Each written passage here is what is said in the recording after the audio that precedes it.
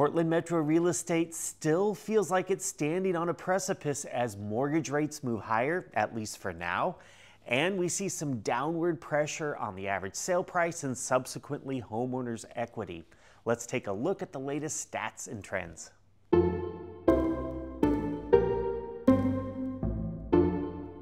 The average sale price was down 2% from the previous week and down by 1.5% compared to last year at this time. Last year, the average sale price was already starting to rise.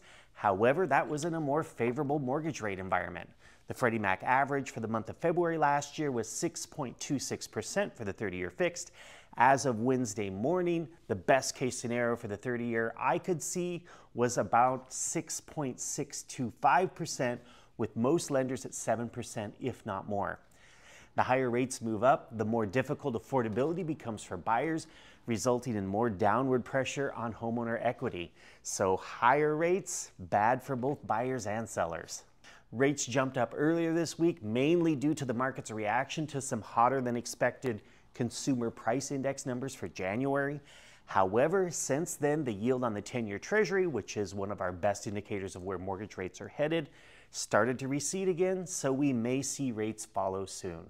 Our supply of homes available for buyers to purchase was up just a half a percent, not much.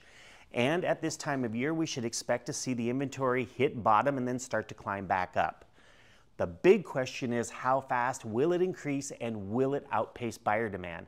I think a big part of that equation, of course, is going to be driven by mortgage rates as we head into the spring buying season.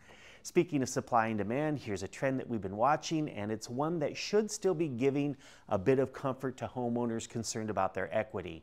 The number of homes that hit the for sale market this last week came in at 423, which is less than the roughly 524 new purchase agreements signed by buyers and sellers that week. That's a trend that's been holding pretty steady for about six weeks now. I haven't talked about the foreclosure numbers for several weeks just because there's not a whole lot to report. No real change in the numbers of foreclosures and pre foreclosure homes on the market. Both those numbers have been inching down in recent weeks.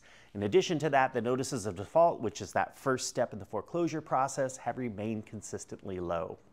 So that's all the excitement I have for you this week. I do want to wrap up by saying I feel like I'm seeing more homes receive purchase agreements this week, but that is just a feeling for now. So be sure to check in with me next week to find out whether or not my feeling proves true or not.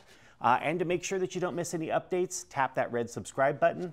Have a great weekend, and I will see you right here next week.